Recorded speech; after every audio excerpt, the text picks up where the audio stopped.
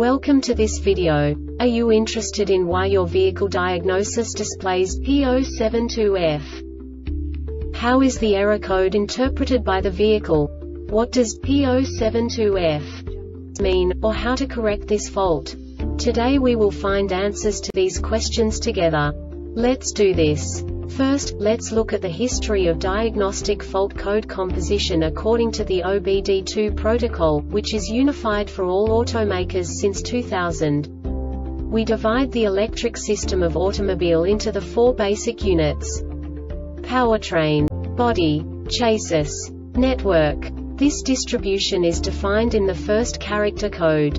If the second character is expressed as zero, it is a standardized error. In the case of numbers 1, 2, 3 it is a more prestigious expression of the car-specific error. The third character specifies a subset of errors. The distribution shown is valid only for the standardized DTC code. Only the last two characters define the specific fault of the group. Let's not forget that such a division is valid only if the other character code is expressed by the number 0. Our website airbagreset.sk produces useful videos for you. You do not have to go through the OBD2 protocol anymore to know how to troubleshoot any car breakdown. You will find all the diagnostic codes that can be diagnosed in a Fiat vehicles. Also many other useful things. The following demonstration will help you look into the world of software for car control units. You unbelievably can move the video a bit further.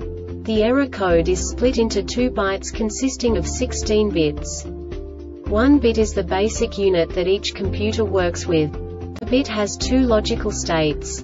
0, low level, 1, high level. By combining the first two bits, the basic character of the error code is expressed.